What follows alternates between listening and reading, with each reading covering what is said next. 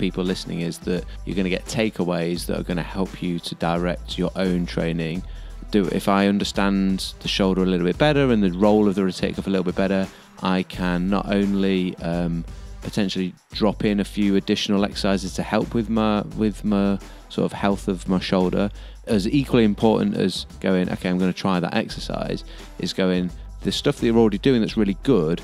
Can you apply yourself even better in terms of the activation you go through and initiating the movements because you understand that role slightly better? In a throwing motion or, a punching motion, 50% of force is going to be generated from the lower body. Tackle in rugby would be the same. 30% from the midsection and 20% from the shoulder. Often we would have had in, in strength and conditioning the conversation around oh no you don't don't let your knee become valgus or dive inwards in a squat. That's not good for you for your squat. That's an energy leak. So we do a lot of work on stabilizing the glutes screwing the hips out making sure that we've got good alignment through our squat. Funnily enough we don't pay the same attention to the shoulder but it's exactly the same. If the shoulder lacks that stability requirement to keep the shoulder positioned in a good place it's an energy leak and because it's so vulnerable because of the range of movement and the architecture of the joint, that's when we can have problems because one to two millimeters of uncontrolled translation could cause an injury. Now, if you go and watch some of the um, Olympic weightlifters at the Olympics, they're, they're doing a PB snatch to win a gold medal. Their knees are flipping all over the place. The architecture and the stability, the musculature around the joint for the knee makes it a more stable joint than the shoulder, therefore, it's less likely to get injured. Not that it won't get injured, just less likely, I would imagine, we can probably statistically have a look at that.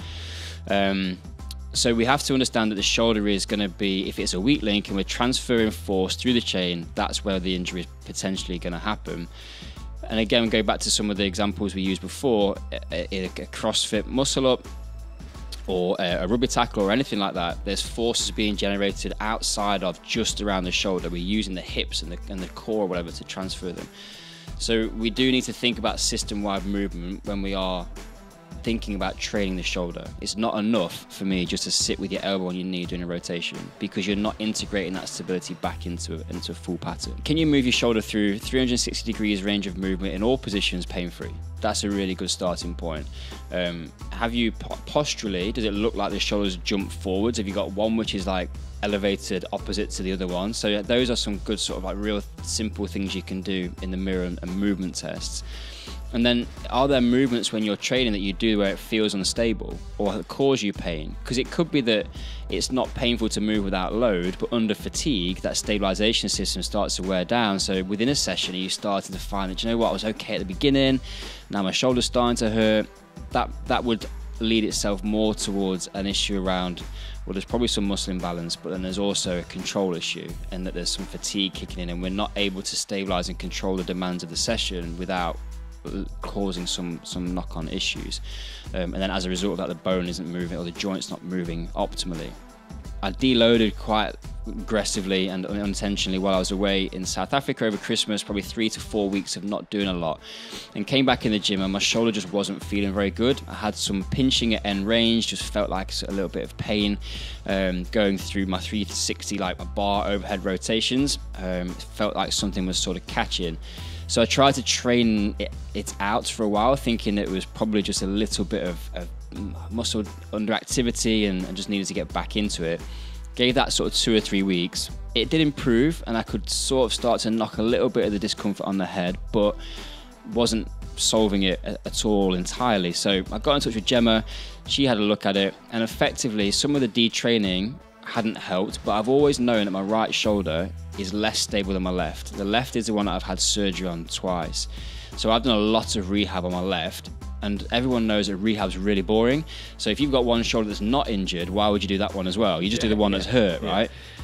And also, as soon as it stops hurting, you stop, you stop doing your rehab, rehab, whereas you should finish it up. It's like your course of antibiotics. Finish that bad boy. Yeah, exactly. And that's why calisthenics is great in that of, of, of, a lead on from a rehabilitation phase of, of, do your rehab, and then calisthenics you can move that in because it's more interesting rather than just doing banded exercises with your rotator cuff.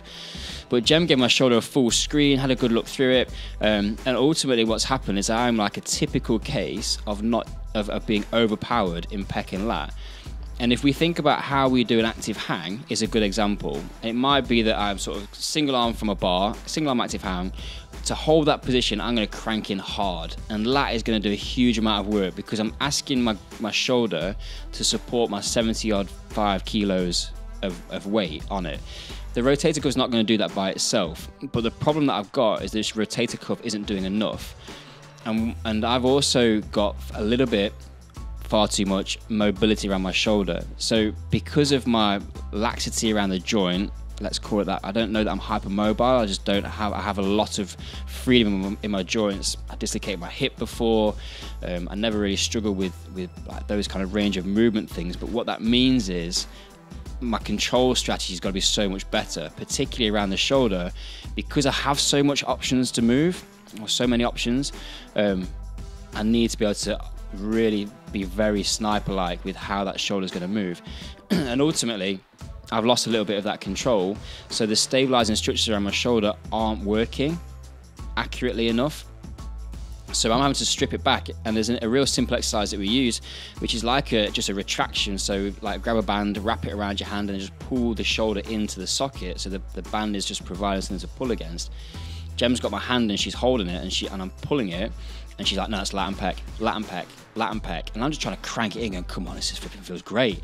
And then just that reminder, and I've had to do it through rehab before, of how subtle that movement needs to be to justify the rotator cuff. And I think I'd say just encourage people on that in terms of like videoing yourself, doing a couple of like basic movements.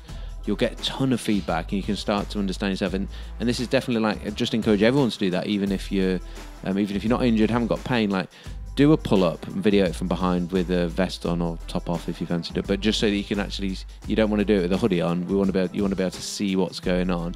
You'll be able to you'll be able to notice like do things look symmetrical what's moving you might you might never have even really thought about before you might go oh what's that and oh, i can actually see my shoulder blade moving here and, um, and, the um, first thing to think about with that is is like with the, simple stuff pull up active hang push up just yeah. video it and see am i actually moving because it might be that you're not in pain but if you're not moving symmetrically, then it's certainly not going to be optimal. But and also you might be able to stop yourself get all the things that you do that stop you getting injured. You don't know that you're doing them because you don't get injured, so you don't know yeah. that it necessary. But the fact that you are staying injury free is a sign that you're doing good things, and yeah. um, that's going to ultimately be built upon good quality movement, and you'll you will be able to assess some of that um, yourself. So that's a that was a big sort of takeaway homework piece um, from me. Yeah. But then, not to not to sort of go against what Tim was saying. Like if you if you are pain, in pain and you're injured, like going to see a physiotherapist is number one priority. But I 100% think that was a point I wanted to make was that if you are, can you correct it first yourself? Like if we're training athletes, we could see if something move which we say is like, okay, that's not how we want it to be. We want, we want it to move like that. Let's all of a sudden work out what's tight. Let's do some stabilization. We'll get on a couch. Let's. The first port of call is, can we coach you out of it? Can I just get you to move better? As a result of making you aware of how you're moving. So if you find in a push up that your arm's jumping out, you might have got the control and the stability and the joint range of movement to be able to actually put it in a good position and move better. That's just going to be the first number one best thing that you can do. And you probably won't be in pain, and that's going to stop you from getting in pain. There was um, a number of exercises we mentioned um, throughout. If you want, um, all of those, everything that we talked about in terms of exercises, there are tutorials for all of those. As I said, they make up our movement preparation of, of all the programs um, in that are there inside our virtual classroom, which is where all our online um, training programs, etc., are, and an amazing community of people. So, if uh, if you want to see them or have a refresh of them, um, you can get all of those inside the virtual classroom, and you can access um, everything on a seven day free trial. So actually, you know, you can go and see those for a week for free um, and check them out. Give yourself a little refresh. If you want to then stay part of it, obviously you can, and we'd love you to be in there. But equally, it's there for free if you need it.